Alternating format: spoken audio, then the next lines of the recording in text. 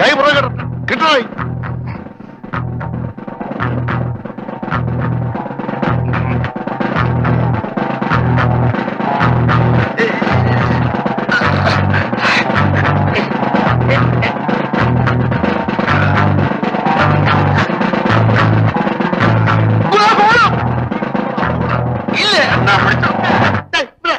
വിടറാ.